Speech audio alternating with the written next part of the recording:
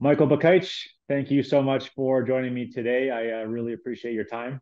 Uh, for the listeners, uh, this is Michael. He is the founder and the CEO of Iceberg Cyber. We have uh, quite a bit to discuss today on uh, pretty much everything cyber related. So, Mike, once again, thank you for coming on today. Thanks for having me, Michael. So, to kick things off, why don't we give our listeners a little bit of an overview background about uh, what Iceberg Cyber truly does? Great. Iceberg is a Toronto based cybersecurity startup. We are pioneering the cyber version of a credit score for small businesses. Our main mission is to try and make cybersecurity simple enough that a small business owner, regardless of their tech background or how much tech savvy they have, can truly appreciate the cybersecurity risks their business. We live in the new world where automation and AI have made it very profitable for cyber criminals to attack small businesses. And it's become the reality that a small business owner needs to have this on their plate. But it doesn't have to be complicated. And that's what we're trying to solve is making the conversation simple enough. Just like you use a credit score to track the financial health of your business, you can use your cyber score to practically track and appreciate the cyber risks to your business. I like that. And, and what was that tagline we were talking about with the, the cybersecurity score? What were you saying? The cyber version of a credit score for small business. That's the, the tagline. The cyber version of a credit score. Yeah, that, that's super That's cool. right. I, I mean, cybersecurity in general is is got to be one of the most important things any business you know needs to get into ASAP. Right? It's one of the biggest risks any company faces. It's no longer your building burning down. It is a, a hack or something cyber uh, related as far as a threat. Right? That's right. But practically speaking, all small businesses are engaged in cybersecurity, whether they know it or not, because we all enjoy the benefits of using computers and the internet and e commerce to deliver value to our clients. We're having this call over Zoom right now. We wouldn't be able to do that if we weren't involved in cybersecurity. There's security to make sure that we can connect to Zoom s- safely, make sure this communication is encrypted, and we use those same tools to transact with our clients, speak to them, connect with them. So we're already engaged in cybersecurity. The the real change in mindset that we're trying to promote is to think about it as a as a tool that requires maintenance. It's not something that you can just use and forget about because if you wake up one morning and we can't have these Zoom calls, there's going to be some nuisance inconvenience to operating your business. Worst case, you're starting to lose money because you can't call your clients. So that's this type of mindset and conversation we're trying to promote is we're already engaged as small business owners with cybersecurity. It's a component of our everyday operations.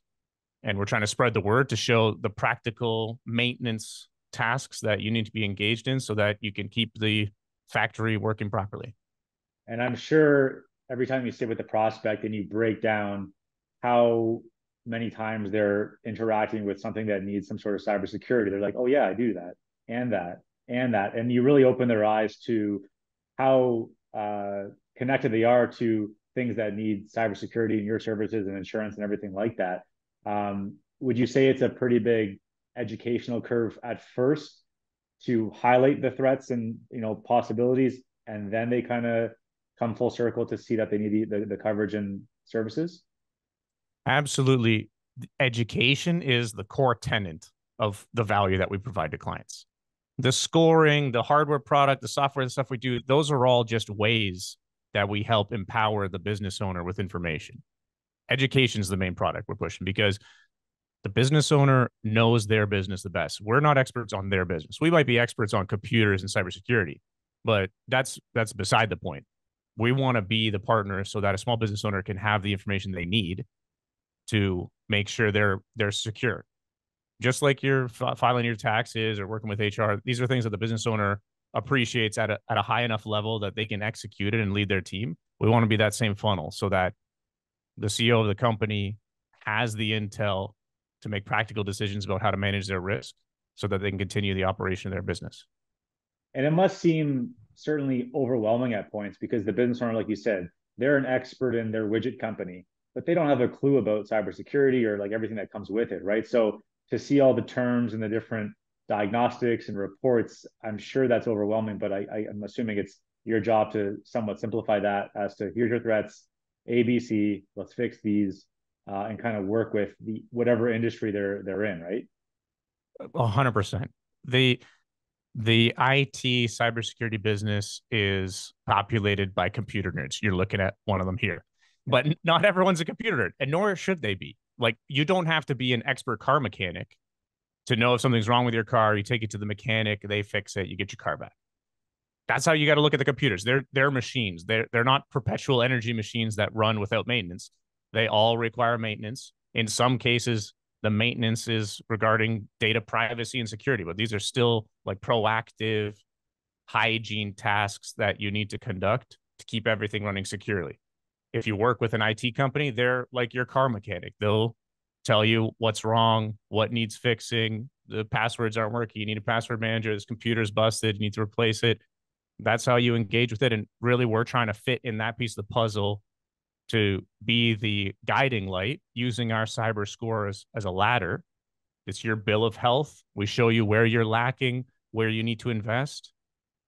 And that way you can use it as a communication tool with your IT company, with your own employees, and with your board, with the with the business owner, so that they know where to best put the money, where to get bang for the buck, what they don't need to worry about. Yeah. So could you break down a little bit about the reports and um, kind of scoring system you have? Sure. Our cyber score is tailored completely to a small business owner. So there's no like three, four letter acronym from some US government agency that states like these are the compliance regulations that you need to deal with. By the time you get to that level of IT maturity, there are other consulting companies and regulations that you'll that you'll worry about. We're trying to speak to the small business owner that's trying to go from 0 out of 10 on the IT maturity scale to like 4 out of 10. That's our practical sweet spot. Yeah. If you're reusing the same password for all your accounts and and you don't think that the website is an important part of your risk surface, you you want to talk to us. That's the people we talk to the most. The ones that are at a 0 or 1 on the scale. And for the listeners to know, that's like 80, 90% of the small business market because we talk to dental clinics, accountants, they're specialists in dental hygiene or accounting they're not necessarily specialists in computers. So that's what we're trying to give them the practical information to take their first steps so that they can see some they can see some bang for the buck and then make a reasonable improvement in the security. To do that, we cover four main areas of a small business's risk profile. The first one is email security. For a small business owner, email is where you should definitely put your chips on improving cybersecurity for your company because all your employees use emails to converse with each other or to clients. So you're passing back and forth private corporate information, HR information, financial client information, tons of stuff goes through our email accounts. And more importantly, they're the they're the primary target for a criminal to try and break into the company to either steal that client information or get into the computers to distribute ransomware or malware. So email security is a big component in our in our cyber score, we're looking for whether your email is set up with the proper security configurations to prevent people from sending you phishing emails, or whether the email is configured properly to prevent a criminal from spoofing your email address.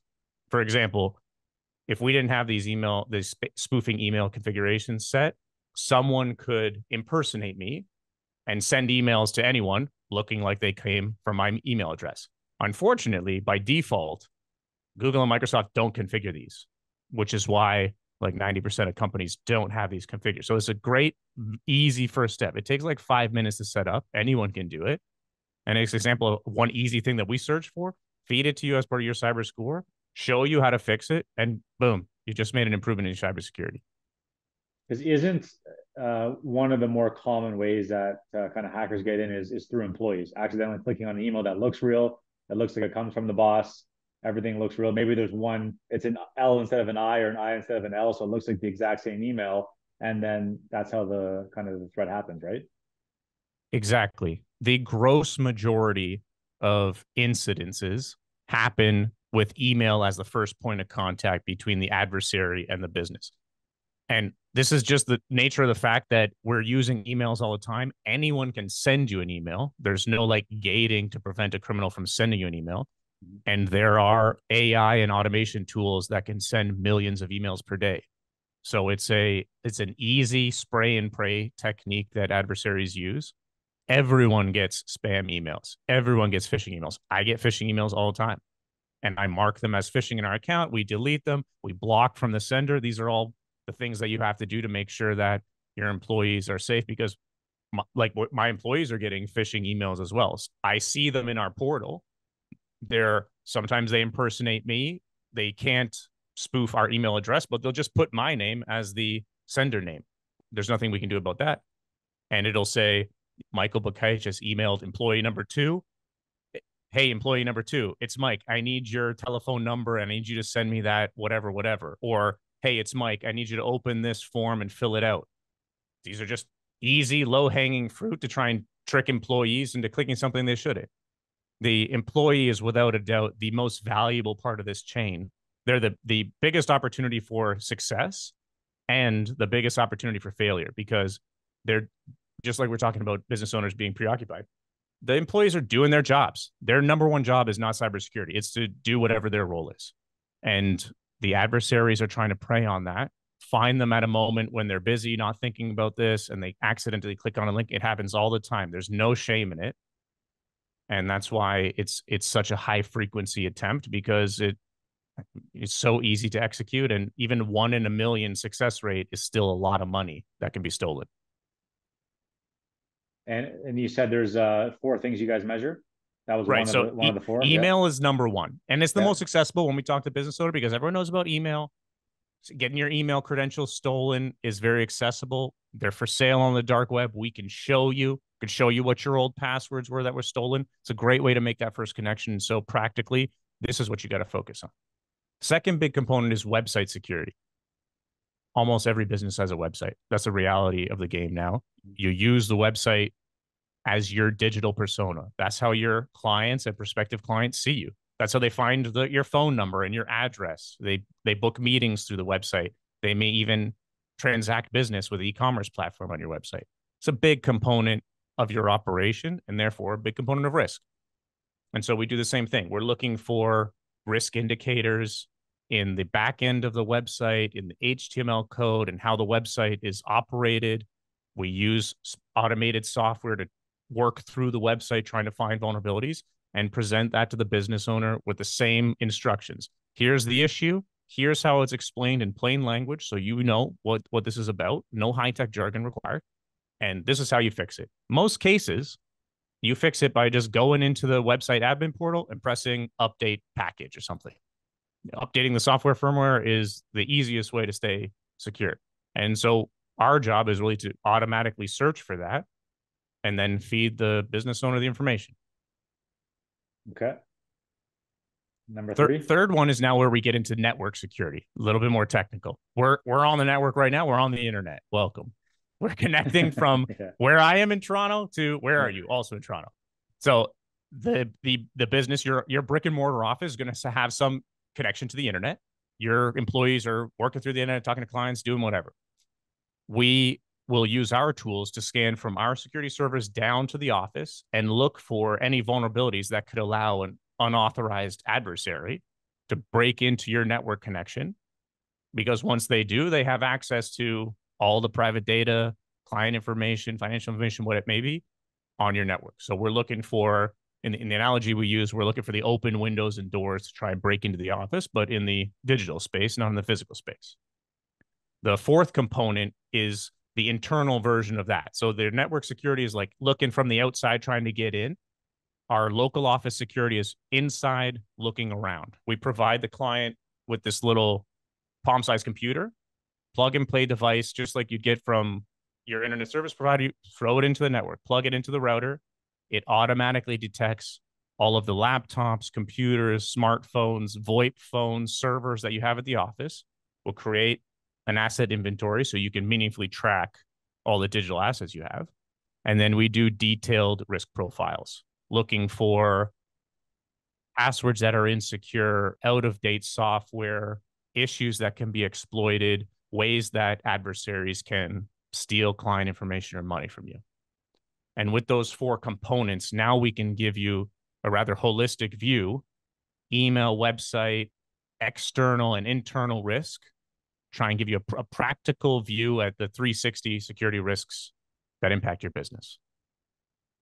And I'm sure once you kind of explain your process and everything you do, probably one of the most frustrating things you might hear is that it won't happen to me or it can't happen to me or somehow they're immune uh, to a hack, yeah. even though if you you know rhymed off a list of all the major companies that have been hacked, it's everything from like Home Depot to IKEA to the government. So I'm pretty sure any mom and pop shop uh, has equal, if not greater, risk. It's an it's an unfortunate reality that the it won't happen to me is not true anymore.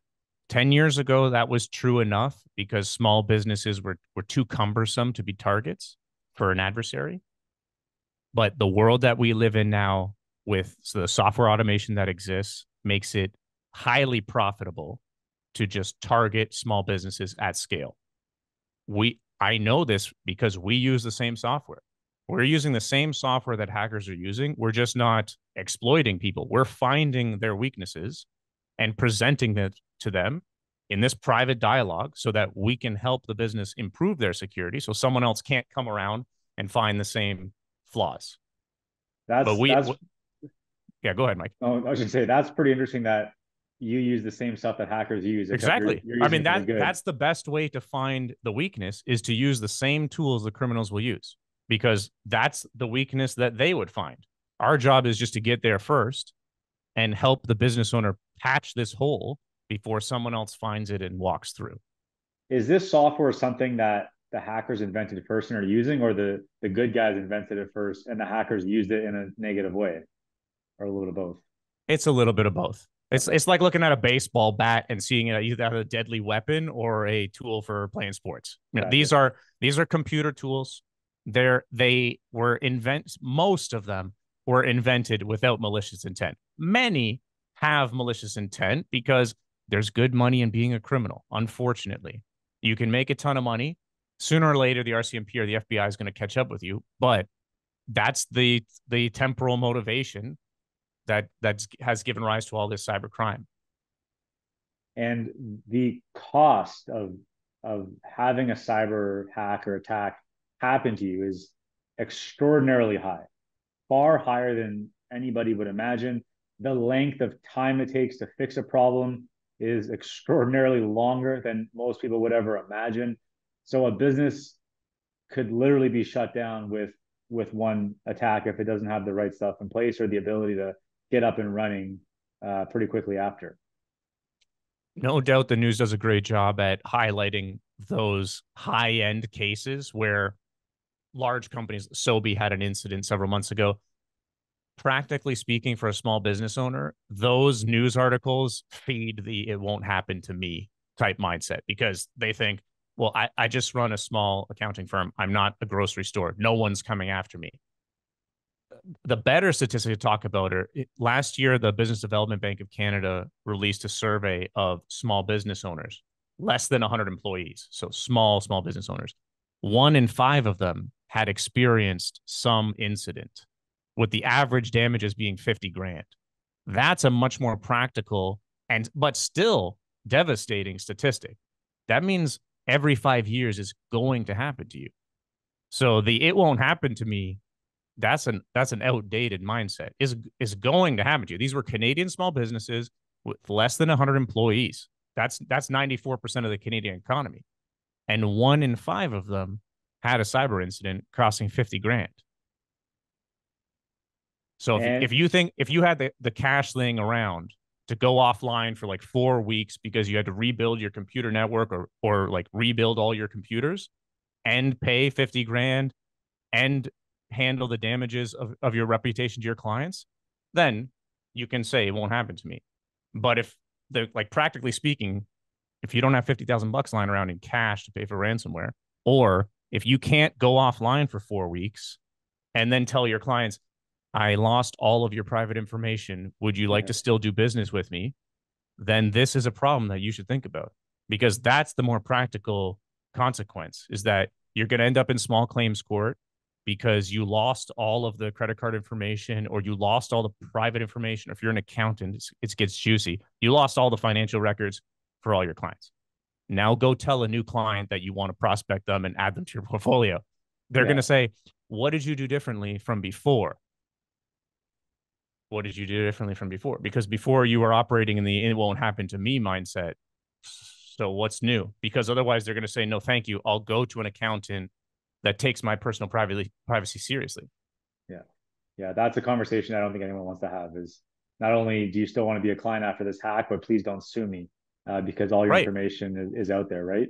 and, and this is the area that we've been pursuing because because a big component of the education is working through this it won't happen to me philosophy so we've mm-hmm. been talking to lawyers that work with small businesses and that's where that's where this messaging is coming from i spoke to lawyers i said like bdc says this happens to one in five people so where are they where's where's the 200000 small businesses because you don't see them in the news mm-hmm. where, where are 200000 small businesses happening and the lawyers that we interviewed said yeah, they, they keep it quiet because it's embarrassing. I appreciate that. It's embarrassing.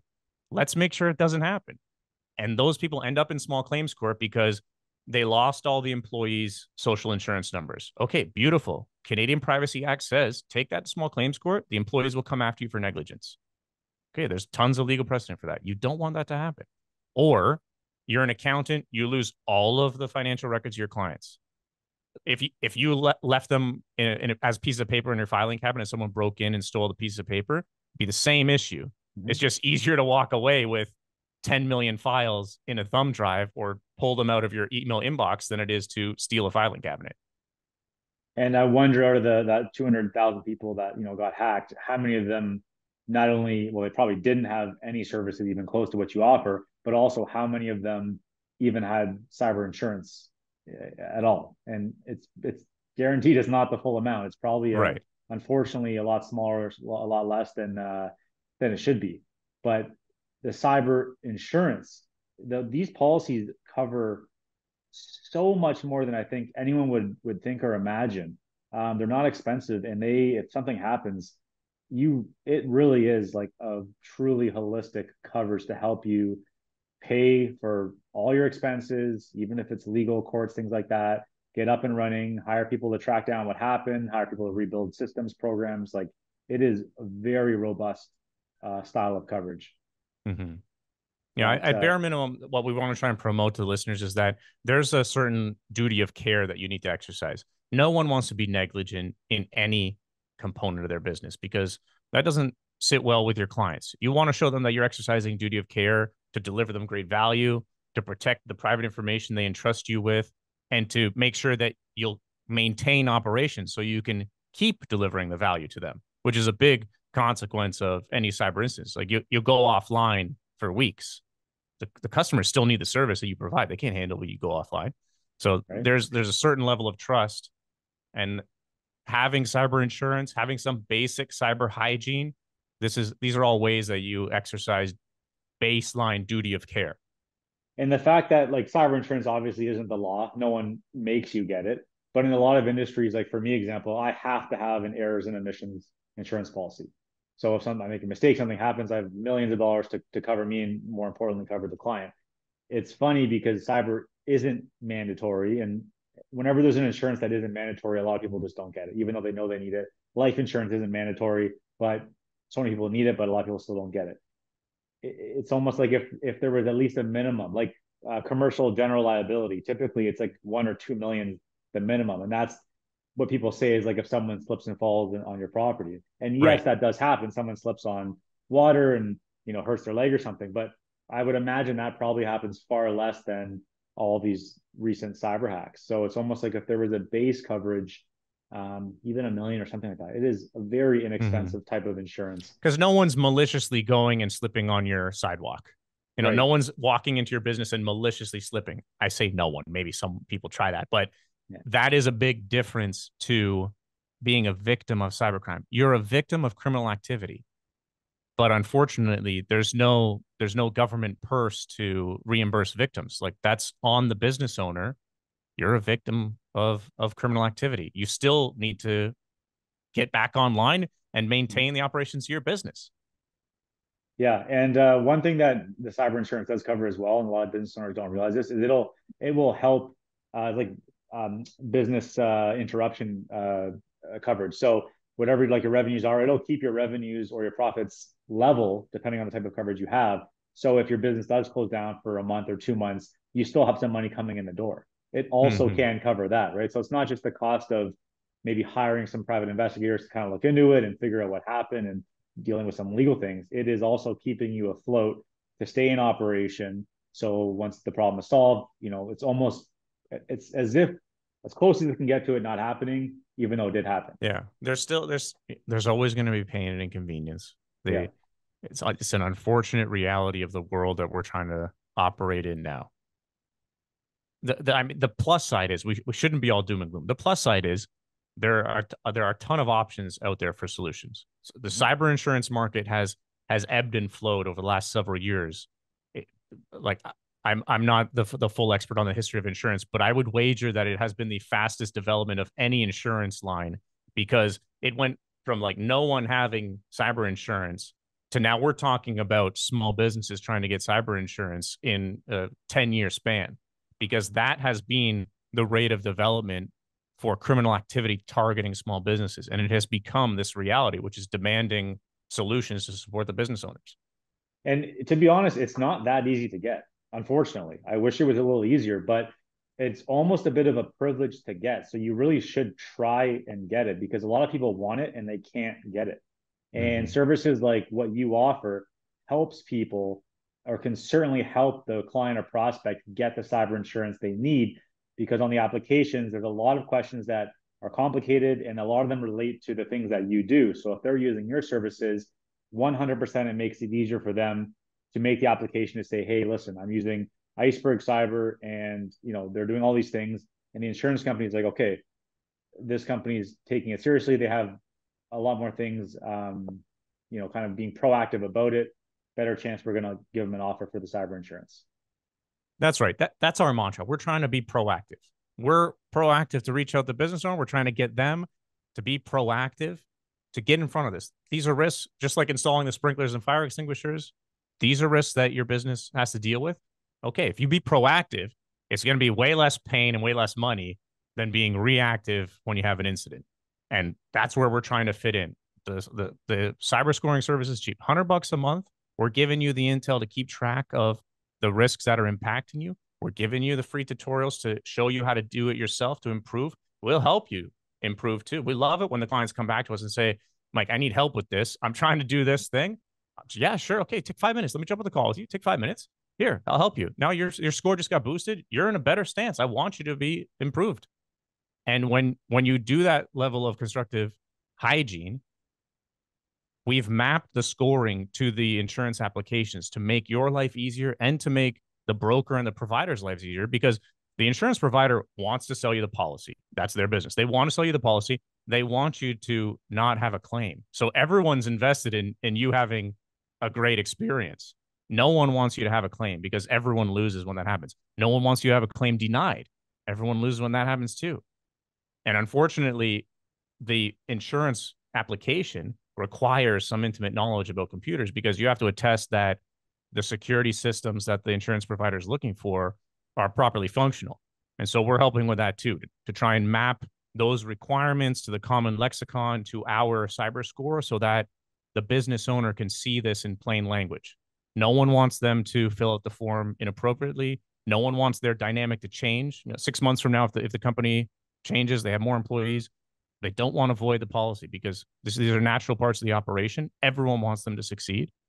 And so that that's the grout that we're trying to be that grout between the bricks, keep everyone on the same common language, make sure we understand what the requirements are, how to stay on the level. And that way the business owner can keep focusing on the business and not have to worry about being surprised.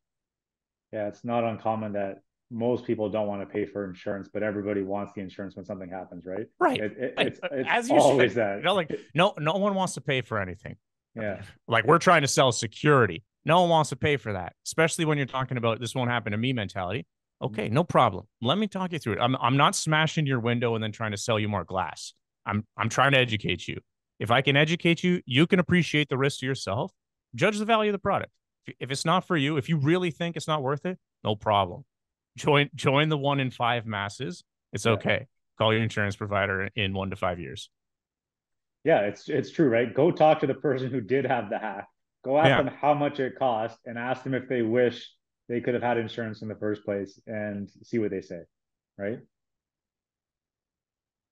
Uh, Mike, uh, anything else you'd uh, like to add before we uh, wrap up today? Okay, my, my usual my three takeaways for any listeners when it comes to, to cyber hygiene. That's how we like to talk about it. You know, cyber hygiene, cyber security. That might be for the big banks in Fort Knox, but practically speaking, we're talking about cyber hygiene. Just like brushing your teeth and flossing, it doesn't make any difference from one day to the next. But if you stay on top of it, five years from now, you're still going to have good teeth. Yeah. So, number one cyber hygiene tip is to use a password manager. If the listeners take only one thing away from this, I'd rather it be for them to use a password manager. Password managers are very convenient. They'll make your life easier. You'll never have to remember passwords again. You just really need the one password to open the password manager. That the best benefit of this is it allows you to have random and unique passwords for all of your accounts. So when you log into Microsoft Outlook or Google and Facebook and your bank, these are all different 24 character long randomized passwords. The the reason to do this is that these third party services, they have data breaches all the time, at least once a week. There's nothing that that you can do to prevent that. They're going to lose your email and password combo at some point. It's reality. If you reuse the same password, like with our clinics, they use Smile a lot. I say it, they use Smile a lot. If you're reusing Smile as your password for your bank, your Facebook, your email account, your accounting software, someone's going to find that on the dark web and just automatically try and log in. And the software allows them to do millions per day. So you're going to be one of those. So the number one rule is use a password manager. If you're with Google, Google's got a password manager for free. If you're with Microsoft, Microsoft Authenticator, free password manager, use it. The browsers have a password manager, iOS has a password manager, everyone's got them now. They all have their differences, but using any of them is better than not using one. So just use one of them. Point number two is keep your computers up to date. Apple, Microsoft, Android for the phones, they all have dedicated security teams trying to keep your product secure. It requires your involvement. You got to go apply the updates, restart the device. The easiest way to do this is just like this is how we do it. Each employee's got a little calendar reminder Friday afternoon before they check out for the weekend. Go into the Windows update settings, check for updates, turn the computer off. Because when you when you power cycle the computer, it installs the updates. That's it. Everyone does that at 4 30 o'clock, 4 30 p.m. on Fridays. Yeah. That's that's how we stay on the level for that. And the third one is back hitting back to that spoofing settings with the emails. This one is a little bit more techy to talk about, but if you don't have these anti-spoofing settings configured, someone can impersonate you and send emails to random people or to your clients impersonating you. It takes five minutes to set up. You can come check out the tutorials on the website. If you work with an IT company, they can set up. The reason I include this on the on the top three list is we've scanned millions of small businesses in North America with our cyber scores. 90% of them don't have it set up. 90% of them don't have it set up. So like I I I squawk this all the time because it is a big risk and it's so easy. It's, it's, not going to cost you nothing. Five minutes of time, log into Microsoft Outlook, go to these settings, save, you're good. So that's that's point three. Password manager, update the computers, do the anti-spoofing settings. More information, come to the website, thecyberscore.com, which we're trying to get you empowered with the information you need. You'll find it at thecyberscore.com. That's awesome, Mike. I appreciate it. Thanks for coming on today buddy, and uh, we'll talk to you soon. My pleasure, Mike. Thanks for having me.